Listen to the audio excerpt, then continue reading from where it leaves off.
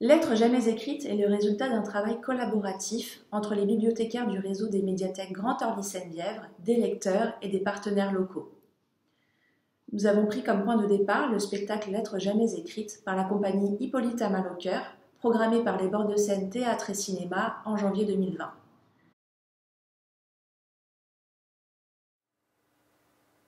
Bonjour Robert. Vous ne me connaissez sûrement pas, mais je suis votre petite fille, la fille de Pascal. J'aurais aimé vous rencontrer, même si je suis un peu faux folle. Mais je suis aussi aimable, donc ça contrebalance. Par contre, je suis assez émotive, donc ne vous inquiétez pas si vous voyez des larmes dans mes yeux. Voudriez-vous nous rencontrer, moi et vos autres petits-enfants? Cela pourrait être bien, même si je pense être assez intelligente pour comprendre que vous ne le voulez pas. Je voudrais bien vous voir au moins une fois dans ma vie. J'espère quand même que vous allez bien, que vous avez une belle vie, même si nous ne nous connaissons pas. J'aimerais que vous lisiez cette lettre et plein d'autres, mais aussi d'autres textes. Je suis une lectrice compulsive. Sinon, aimez-vous le sport? Moi oui, en tout cas, je suis assez vive. Par contre, je ne sais pas pourquoi vous ne parlez plus à vos enfants, et par conséquent à vos petits-enfants. Moi, je trouve ça un peu triste et dommage pour vous comme pour nous. Votre petite fille, Flavie.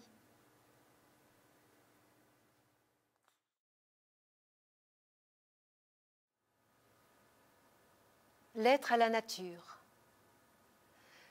Assise dans mon salon, avec vue sur le jardin, un noisetier, des branches rabougries, sous un ciel hivernal, bas et gris, me reviennent à l'esprit mes racines, l'environnement de mon enfance, les montagnes droites et fières lancées vers un ciel sans nuages, les lacs et les rivières, tout un espace de liberté que quelque part j'ai perdu dans la vie très urbaine qui est aujourd'hui la mienne. Je repense à mes voyages en Amérique, aux geysers et aux bisons de Yellowstone, au désert du Nouveau-Mexique, à mes rencontres avec les natifs, ces peuples autochtones d'Amérique, aux aventures ubuesques que j'ai vécues sur ce continent et aux émotions qu'ont fait naître en moi le Grand Canyon, l'immensité des plaines du Dakota et le bleu si particulier de l'Idaho. Et je me dis que toute ma vie, partout où je suis allée, y compris dans mes rêves, partout où je suis allée, y compris dans mes rêves, j'ai cherché à retrouver cet espace de liberté. À retrouver cet espace de liberté. Que représente pour moi la nature. représente pour moi la nature. Ce terrain de jeu sans cesse renouvelé, mais jamais égalé. Sans cesse renouvelé, mais jamais égalé. Mère nature. Je t'écris cette lettre parce que tu es ce que nous avons peut-être de plus précieux et que nous négligeons trop souvent. Tu es le cadre de notre existence sur cette terre tu nous nourris, nous soutiens et nous observes certainement d'un œil rieur, témoin que tu es de toutes nos folies, nos dérives et nos mutations. Mère nature, je t'écris pour te dire combien la culture est importante pour moi, mais ô combien unique et irremplaçable est la place que tu occupes dans mon cœur. Laurence.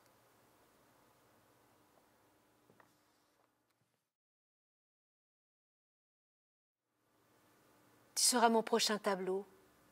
Inspiré de mes amitiés où de toute évidence la lumière se réfléchira en invité, une palette de couleurs où les nuages fileront en douceur dans le ciel, une unité parfaite avec la terre. Je t'attends, je suis prête. Clos.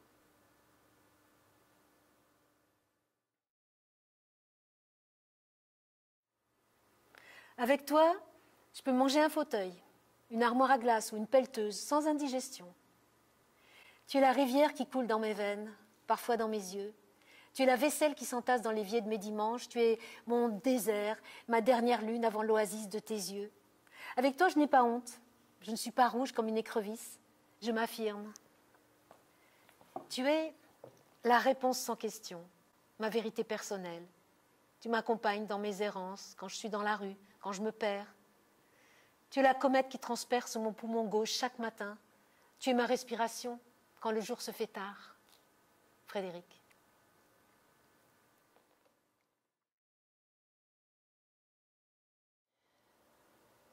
À toi, mon ancienne copine. Salut toi, comment tu vas? Alors, tu deviens quoi depuis le temps? Qu'est-ce que tu fais maintenant? T'as changé depuis notre rupture? Tu sais, j'étais heureux quand on était ensemble, mais j'avais remarqué que plus les jours passaient, plus tu me racontais des mensonges. Tu m'as pris pour un pigeon qui croyait tout ce que tu disais. Et maintenant Comment vont tes amours et tes projets?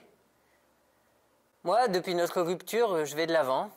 Je rentre en formation pour un CAP pour deux ans. Je suis toujours célibataire et je suis très bien seul. Hein. Comme dit le dicton, mieux vaut être seul que mal accompagné. La semaine prochaine, je pars au Futuroscope. En tout cas, ça m'a fait plaisir de te revoir. À bientôt.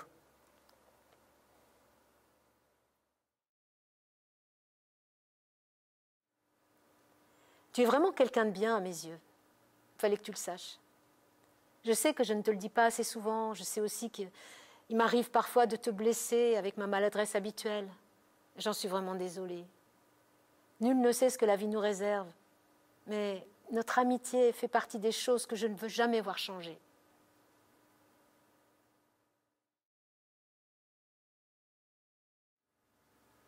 Lettre à la rivière de mon enfance. Dans mon île méridionale, quelque part dans la montagne, coule une rivière calme et impétueuse à la fois, parfois imprévisible et sortant de son lit lorsqu'elle est grossie par de violents orages. Mais moi, je te connais surtout l'été, sous le soleil. J'aime le bruit que tu fais en coulant à travers les rochers et les cailloux, quand tu te jettes en cascade dans de grandes vagues.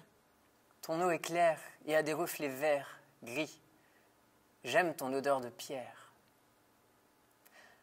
Tout le long de ton cours d'eau, fleurs, arbres, bruyères se penchent sur ton champ si doux. J'aime venir me baigner dans ton eau froide, qui me saisit à peine les pieds posés. Mais je m'aventure, courageuse, avec humour, pour plonger dans ton antre, ne faire qu'un avec toi, comme si tu me débarrassais de tous mes tracas. Dès que je te quitte, je vais coller mon corps sur un gros rocher chauffé au soleil, et je sens l'odeur de la pierre m'envahir. Je fais partie de toi, de tout. Je t'aime aussi la nuit, sous les étoiles où l'on n'entend que ton souffle. Tu as été et tu restes l'embellie de ma vie. Je sais grâce à toi que tout passe. Quand je suis triste, je pense à toi et tout passe. Je te sens loyale, protectrice et tu me donnes de la force. Michel.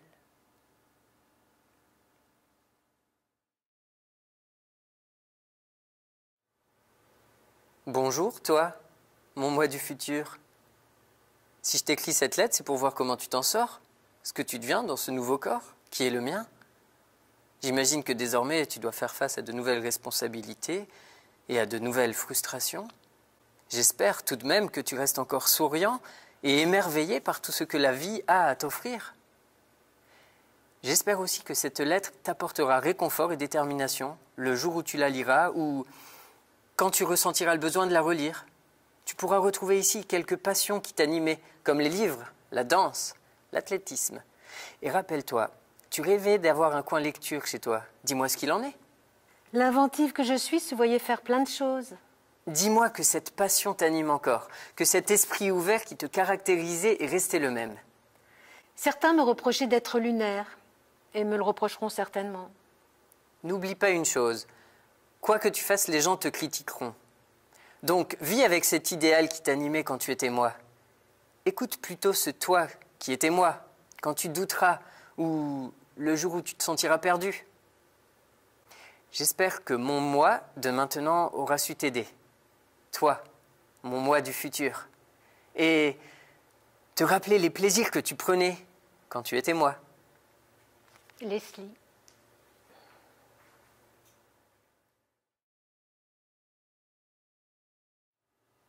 Pour toi, Célina du futur. Coucou ma belle, j'espère que tu vas bien. Si tu as trouvé cette lettre, c'est que tu as survécu au coronavirus. Dis-moi, tu es toujours aussi chiante? Tu parles toujours autant? Tu racontes toujours ta vie à tout le monde? Alors, tes études? Et les amours? Du coup, t'es juriste d'entreprise ou avocate? Et Daoud et Vanessa, ils vont comment au fait? Alors, les cheveux blancs, ils se sont placés sur leur tête? Ils sont toujours à l'espace ado? Alors, c'était bien le Jamel Comedy Club que t'as fait le 20 mai 2020 T'as des enfants? Si oui, combien? Et ton association, elle va bien? Ça roule? La planète, elle va bien? Ça fait beaucoup de questions, mais donc une belle lettre de moi, du passé, ou du présent, je sais pas trop, à toi, du futur. Je t'aime fort. Prends soin de toi, meuf, t'es super cool.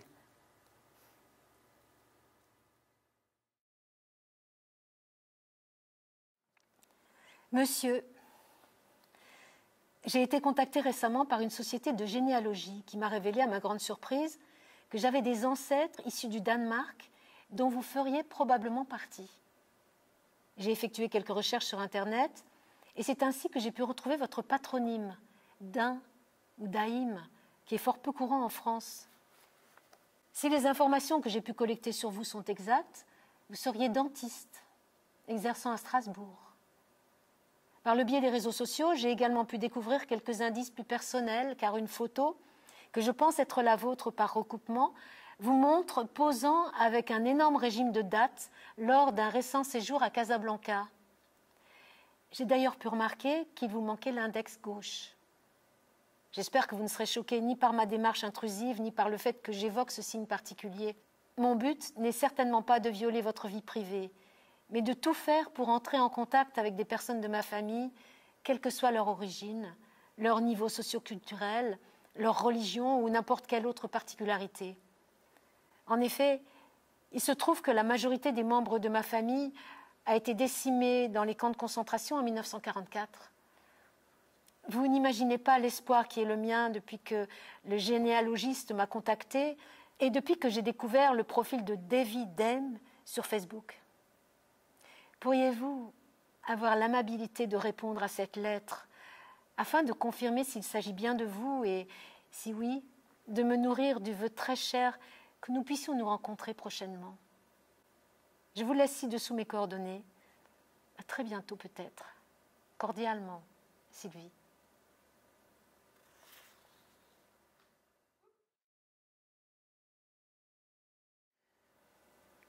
Chère Louise, par un heureux hasard, te voilà créé et destinataire de ma lettre. Je t'ai façonné à partir de mots qui m'inspirent, me font rêver. Moi, je suis née en France, prise dans une vie chronométrée faite de bruit, d'agitation, de stress.